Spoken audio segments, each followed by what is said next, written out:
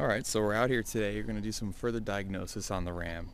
I've been realizing that it's still pretty hard to start it, partially due to the fact the battery that's in here is ancient and it needs to be replaced. Um, so I've been jumping it with the Durango. And the other reason I think either the old fuel filter might be a little bit clogged and it's slowing fuel delivery up to the carburetor and making it a little bit harder to start. Not to mention it's like 15 degrees up here in Rochester and yeah, it's, it's freaking cold. Um, still waiting on my house and my new garage. I hate having to use a parking lot to work on my stuff, but it is what it is. So uh, we're also going to pull the plugs, see what they look like, and hopefully none of them are fouled, and then check for vacuum leaks around the carburetor, because that might be another reason why it's rough to start and then it stalls out um, as you come to a stop. So I don't have my voltmeter out here because um, it's lost somewhere in one of my boxes. So I'm using my power probe. This thing is freaking awesome. If you've never seen one before, you'll be able to test. Uh, you can either push power to or check for grounds for connections and stuff. So with the power probe, I can still tell. Right now, plugged it in. What we got? 12.6. So it's actually not a terrible reading on the battery. 12.6 um, volts should be enough to be able to get it cranking. Uh, you know, 12.6, 12.7 around there after it's been sitting for a night recharging. So it's really not terrible. However, there are further things that you can test on a battery just because it has a 12.6 volt reading. The load that might be able to put out, I forget exactly the science behind it, but I know that there's other things that can go wrong with the battery even if it reads a good voltage that doesn't just have the the power behind it to start a car or truck so overall though might not be bad Alright, so it's a 13 16ths. Don't have a spark plug socket for it, so I'm using an impact. it'll work nonetheless. Put the socket down there, and we'll just hand thread the plug out. I'm hoping that I'm not going to be seeing a lot of buildup on them, and I can see there's a little bit of rust on the bottom of the, the base of the plug that's partially just indicative of how long they've been in here, but might not be mean that they're bad. So let's see. Okay. So there we are. It's not got a lot of uh, buildup on it of carbon. If anything, it's pretty white and clean. So it could be running um, a little bit lean, but uh, and if it has a vacuum leak, that might make sense to it. But it's not a bad looking spark plug. Not terrible. So let's see what the other ones look like. Alright, so now we're going to pull off the number two spark plug.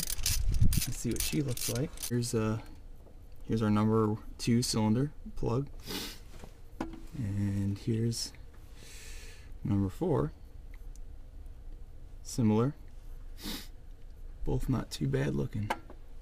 So we're to organize those up top on the air cleaner. Always love the, the nice solid snap that these plug wires make when you pop them off. Just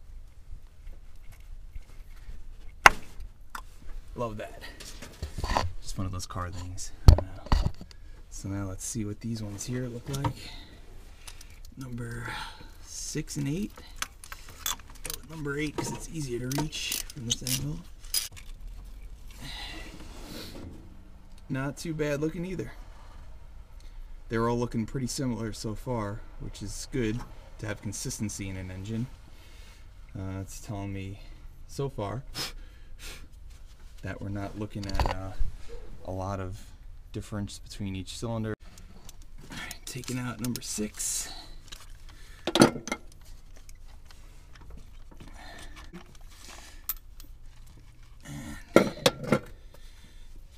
there we go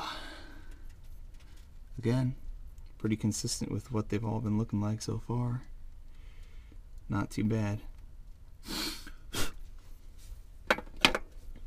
let's take a look at all four here on the passenger side together. So, as we can see, pretty consistent. They're all pretty clean. There's not a lot of black gunk, which would indicate either a number of things, but could be blow by or burning oil in a cylinder and something like that. So they all look pretty good. let's go see what the other side looks like. Well, I just had a, a really cool guy just come over and shoot the shit with me about the truck a little bit, and he offered me to give me some stuff to be able to use for the plow on the front, which would be cool if I ever choose to plow with it. Uh, gotta love other Mopar people. So here's the plugs.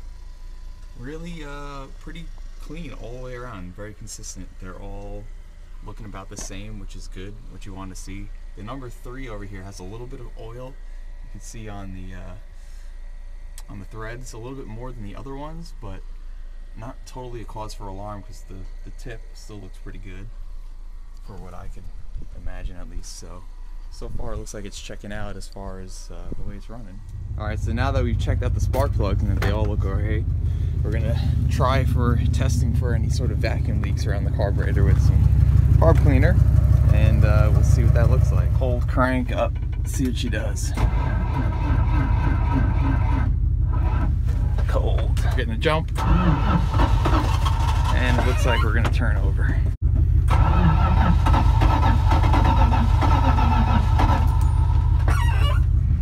All right, we got her up and running.